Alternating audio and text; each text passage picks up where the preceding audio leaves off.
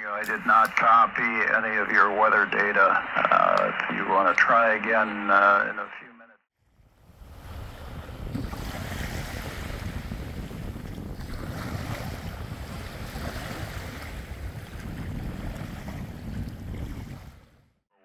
For the Hurricane WatchNet. Do we have anyone in the affected area with emergency priority or outgoing health?